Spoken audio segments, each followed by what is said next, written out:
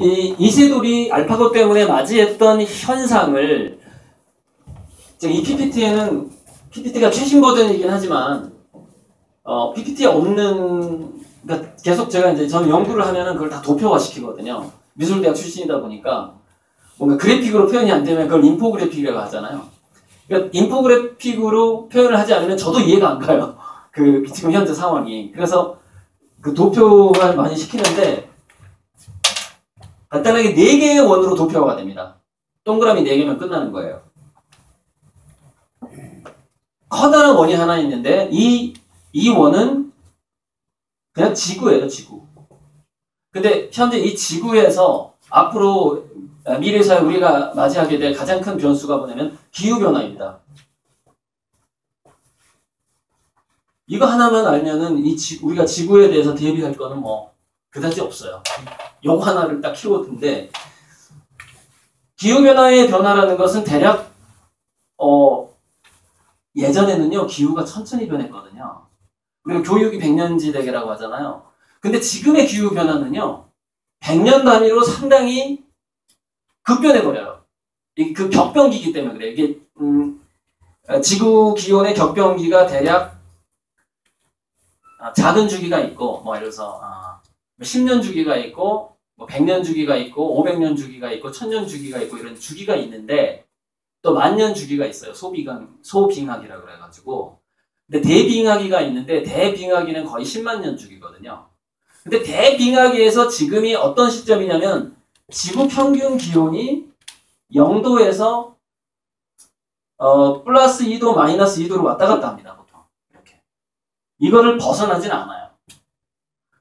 그러니까 지금 기온에서요, 음, 지금 0.6도 올랐다라고 말하는 사람부터 1.5도까지 올랐다고 말하는 사람까지 다양하게 있어요. 지구 평균 기온이. 근데, 그래서 파리 기후 협약에서 얘기했던 게 뭐, 뭐였냐면은 2.0도를 넘기지 말자라는 거였어요.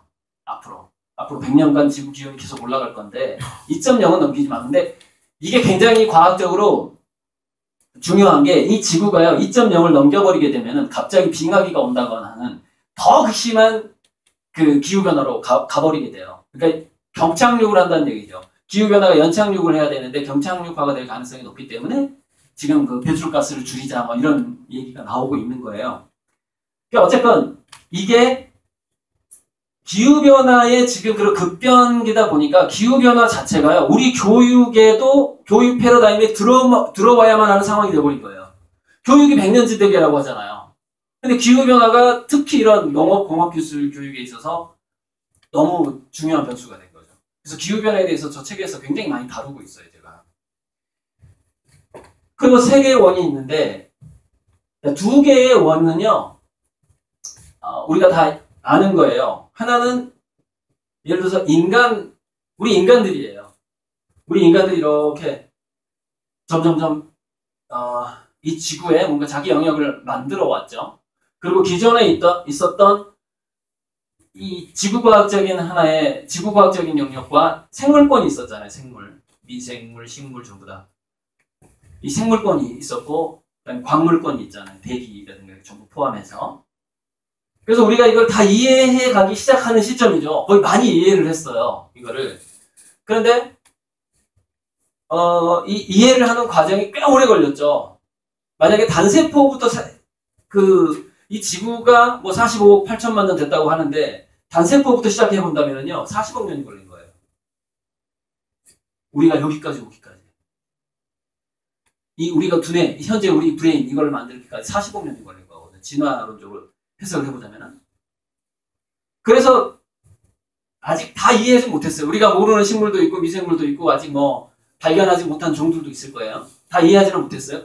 그런데 여기서 역사적인 사건이 벌어지는 겁니다. 무슨 얘기냐면은 인간은 호모 루덴스적인 성격하고 호모 파베르의 성격하고 호모 어, 사피엔스의 세 가지 성격을 가지고 있어요. 이거 세 가지로 살아왔거든요. 그래서 어, 이, 이, 세상을 이해하기 위해서 망원경도 만들었고 다 거기 호모 파베르잖아요. 도구를 계속해서 만들어 왔다는 거죠. 계속해서 일용할 양식을 또 농경도 막 개발하고 하면서 그랬는데 우리 인간의 영장류일 수 있었던 것은 호모 사피엔스였기 때문이에요.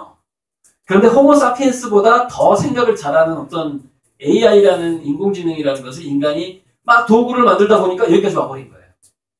우리가 이 지구와 자연계를 다 이해하기 전에 AI가 탄생을 해버린 거죠. 그러니까 이, 이 상황은 굉장히, 어, 우리 지구사, 인류사로 봤을 때 가장 큰 사건이 될 수가 있습니다.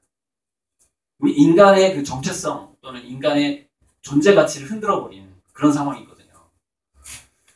그러니까 우리가요 프로그램을 해가지고 프로그램 한 대로 컴퓨터가 움직이고 제조를 하고 어 그 다음에 컴퓨터가 컴퓨터가 예를 들어서 우리 뭐 인간이 찍은 동영상을 돌리고 예. 여기까지는요 우리가 컨트롤을 하는 단계이기 때문에 인공지능이 아니에요. 근데 어디부터가 인공지능이냐? 사람이 동영상을 찍어서 강의하는 게 아니라 로봇이 직접 강의하면 그게 이제 인공지능인 거죠. 거기서부터 문제가 달라져 버리는 거예요. 지금 그 상황에 와 있고요. 이 AI가 점점 원을 넓혀가고 있는 상황입니다.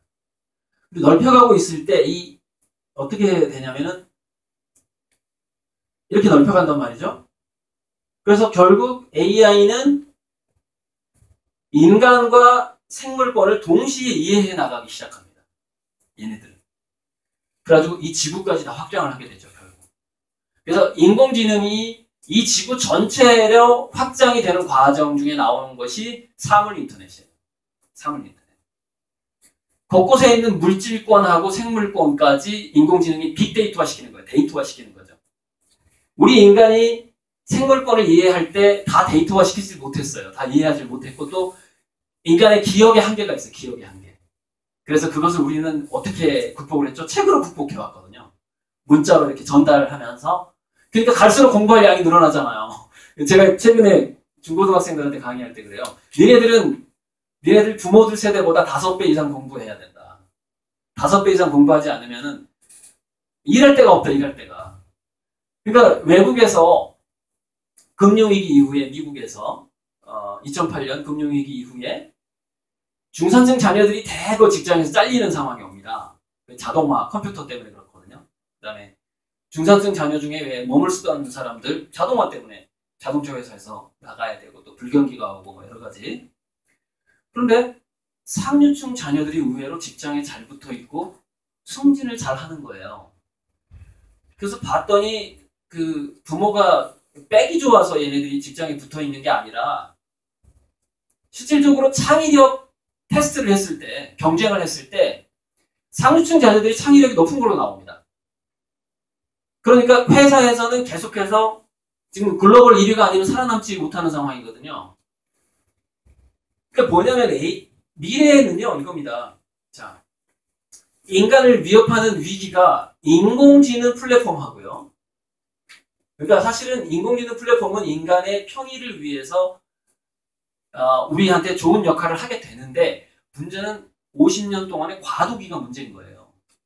왜냐하면 우리는 지금 임금 노동과 우리의 생계가 직접적으로 연관이 돼 있단 말이에요.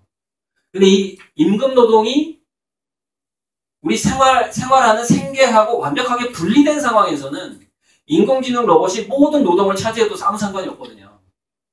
근데 그게 아니란 말이에요. 우리는 지금 우리의 그 하루 생활하고 돈하고 바꾸는 삶을 사는 사람들이 거의 더 많단 말이에요. 일을 안 하는 사람보다. 그래서 어, 인공지능이 플랫폼이 점점점 넓혀가는 과정에서 모든 지구의 그 인간들이 맞이하게 될 상황이 뭐냐면은 임금을 대가로 해서 노동을 제공하는 일을 다 그만두기 시작해야 된다는 거예요. 그래서 그래서 현재 지금요, 어, 우리 어, 시골 그다음에 기술 기술 고등학교 공고에서 굉장히 중요한 기술이 뭐냐면요. 지역 기반으로 자립할 수 있는 거예요.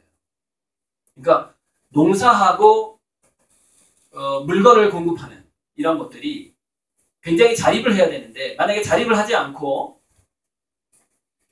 어, 인공지능 플랫폼에서 제공에는 제공하는 그 소스로 뭔가 물건을 3D 프린팅을 하기 시작하고 해서 그것을 또 쓰기 시작한다면 지역 경제가 다 빠져나가 버려요. 대기업.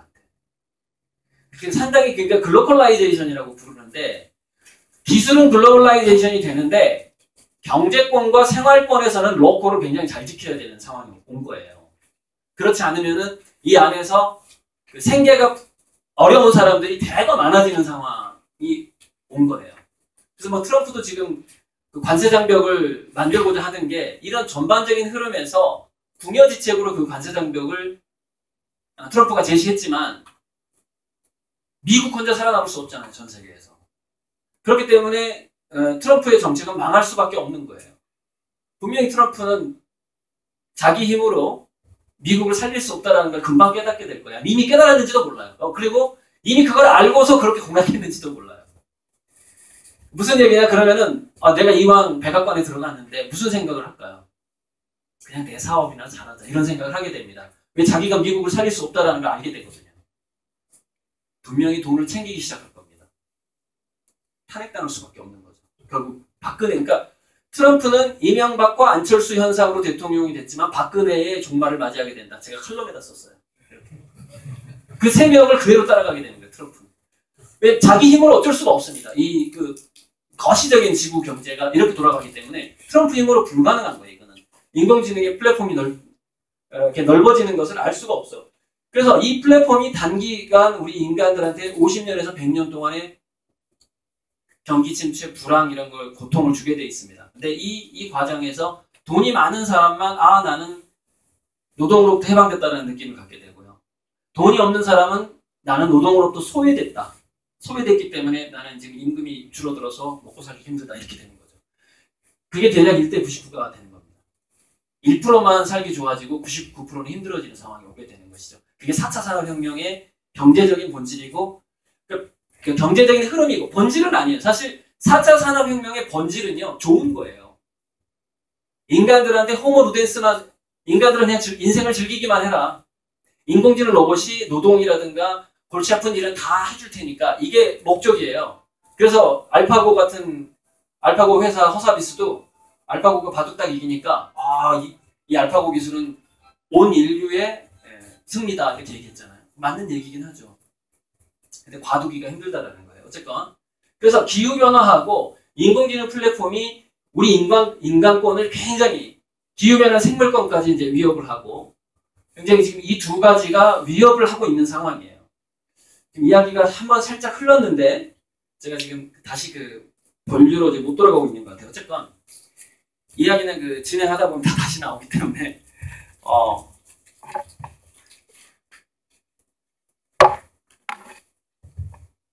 넘어가 볼게요. 그래서 이게 지금 우리가 우리 인간이요 여기까지 인공지능을 만들기까지 언어하고 문자 우리 우리 발명 중에 대단한 발명들이 있잖아요. 문자, 언어, 바퀴, 증기기관, 불을 사용하는 불을 에너지로 만드는 방식 이런 부분들 그렇게 잘 왔는데 그거 지금 진동이 계속 어,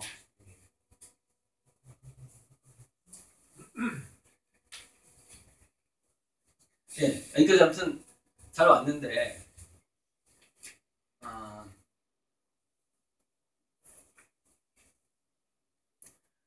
언어 부분에 있어서 2010년경에 이제 그러니까 2010년 이전의 인공지능하고 2010년 이후의 인공지능이 좀 달라요. 그러니까 2010년 이후의 인공지능은 인간의 두뇌를 모방하기 시작했다는 거예요. 인공지능이. 그래서 어, 우리 인간의 이제 시각 피, 시각 피질인 후두엽이 이미지를 해석하는 방식이 형태, 윤곽선, 흑백, 명암, 색깔 이런 식으로 좀 각자 달리 그것을 담당하는 뉴런들이 있어요. 그래서 그 여섯 개의 층으로 우리가 이미지를 분석한다고 얘기하거든요. 그 태어나면서부터 맹인인 사람은 그 여섯 개의 층이 제대로 발달하지 않습니다. 그래서 그 이후에 이 안구를 끼워준다고 해서 볼 수 있는 게 아니에요. 이 보는 것은 두뇌가 해석을 해야지 보는 거거든요. 자, 그런데 인, 공 지금 현재 인공지능이 인간의 두뇌를 드디어 뇌과학이 발달하다 보니까 인공지능이 동시에 발달하게 된 거죠. 인간의 두뇌를 따라하기 시작했는데 어, 인간의 두뇌 시각 피질은 한 6가지 단계로 사물을 해석하는데 인공지능은 100가지에서 200가지 단계로 해석을 한다는 거예요. 그러니까 우리가 볼 수 없는 우리는 예를 들어서 6가지의 관점으로 사물을 파악을 하는데 인공지능 거의 200가지의 관점으로 파악할 수 있다는 것이죠. 그러니까 자 그런 것부터 시작해가지고요. 그 다음에 최근에 이제 그 우리나라 병원으로 인공지능이 들어갔잖아요. 왓슨이 들어갔는데 얘네들한테 이제 암 진단하는 것을 가르치기 시작했어요. 의사들이 가르치는데 가르치고 자 이렇게 이렇게 공부하는 거야. 딱 가르치고 자 이제부터 문서 공부해 딱 했더니 5분 동안 한 사람의 인간이 100년 동안 공부할 분량을 5분 만에 공부를 끝내더라는 거예요. 5분 만에. 5분 그러니까 이후에 그러니까 5분 전에는 이 인공지능 의사가 암 진단을 사람보다 못했는데 5분이 딱 지나니까 사람보다 더 잘하는 거예요. 5분이에요, 5분. 그러니까 이 지능 발달 속도라는 것은 우리가 이거는 그 따라갈 생각을 아예 포기를 해야 되는 거죠. 그래서 전혀 다른 방식으로 이제 우리 교육이 이루어, 이루어져야 되는 상황이다. 그게 이제 어, 제 주장이고요.